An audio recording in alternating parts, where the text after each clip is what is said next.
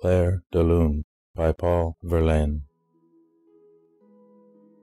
Your soul is as a moonlit landscape fair, Peopled with maskers delicate and dim, That play on lutes and dance, and have an air Of being sad in their fantastic trim,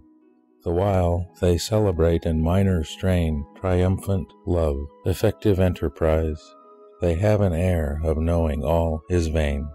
and through the quiet moonlight their songs rise, the melancholy moonlight, sweet and lone, that makes to dream the birds upon the tree, and in their polished basins of white stone the fountains tall to sob with ecstasy.